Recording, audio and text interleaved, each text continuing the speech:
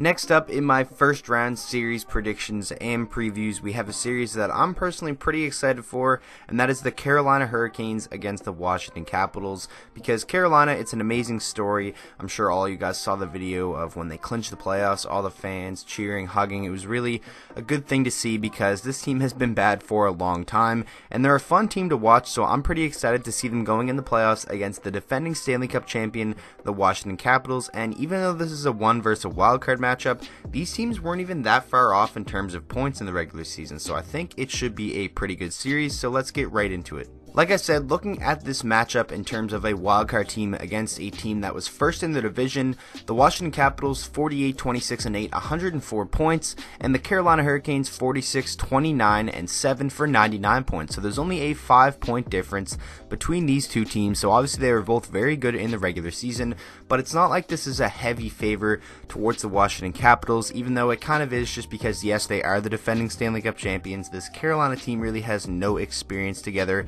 in the playoffs, and it's a lot of guys on that team first time, you know, making the playoffs, and it's their superstars first time. Sebastian Aho, who in my opinion is one of the more underrated superstar caliber players in the NHL. He's had a phenomenal year, and I don't think he gets enough credit for what's going on with the Carolina Hurricanes. So looking at them, Aho led the way with 30 goals. Assist was Teuvo Teravainen with 55 assists. He had a fantastic year as well. Another guy that a lot of people aren't really talking about, but he played a huge role in the regular season that they had. And then obviously they were led in points by Sebastian Aho with 83 points. So one point over a point per game.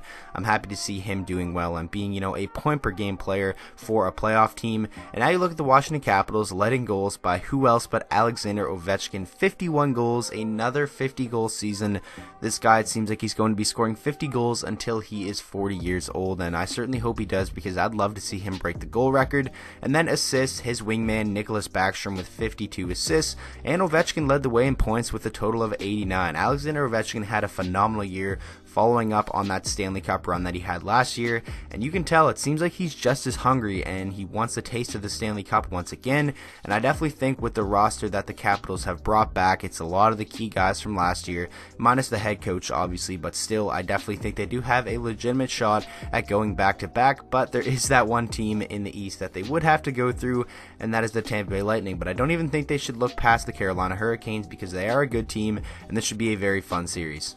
Now looking at the team stats, the Carolina Hurricanes scored 2.96 goals per game in the regular season. That was 16th in the NHL, so you know, around the middle of the pack. Not good, but not bad either. And they allowed 2.7 goals per game, which was 7th in the league, and that was kind of their bread and butter. They had a 17.8% power play percentage, which was in the bottom half of the league, but their penalty kill, 81.6, was in the top 10 at number 8. So obviously you can tell by just looking at these numbers, defense and goaltending has been the key for them in this final final stretch and, you know, making their push into the postseason. And I definitely think against an offensive heavy Washington Capitals, the defense, the goaltending are really going to have to come up huge. Washington Capitals scored 3.34 goals per game in the regular season. That was fifth in the NHL. And when you have guys like Ovechkin and then have guys like Backstrom feeding him the puck, you're going to score a lot of goals. And they allowed 3.02 goals against per game, which was 17th in the NHL, you know, in the bottom half of the league. And they have a power play percentage of 20.8, which is 12th, which is pretty solid, but only a penalty kill percentage of 78.9 for 24th in the NHL. So obviously they did struggle to kill penalties, but obviously, you know, Braden Holtby's a whole nother monster in the playoffs, and that could definitely help that penalty kill percentage in the postseason. And now you look at the Carolina Hurricanes power play. Yes, it is only 17.8 for 20th in the league, but if they're going up against one of the worst penalty kills, then definitely they could get their fair share of power play goals. And I definitely think the special teams kind of favors the Washington Capitals strictly because I think the firepower that you can put on that power play says that they should be better, you know, than the 12th ranked power play in the regular season. One thing that does concern me in this series for the Carolina Hurricanes is obviously the goaltending. Peter Mrazek basically has no postseason experience, and he's probably going to come in as the starter. And then you look at the Washington Capitals, where they have one of the best goalies in the league who had just won a Stanley Cup. So in my opinion, they are heavy underdogs, even though the point differential in the regular season was only about five points. But just the experience factor and the goaltending, I'm definitely going to give the edge to the Washington Capitals in that department. Who am I rooting for though? I'm kind of cheering for the Carolina Hurricanes. I love seeing underdogs do well, and since my favorite team is not in the postseason, you know, I'm gonna have to find a bandwagon to hop on, and it might very well be the Carolina Hurricanes. So I certainly do hope they do well in this series against the Washington Capitals and give that home crowd something to cheer for.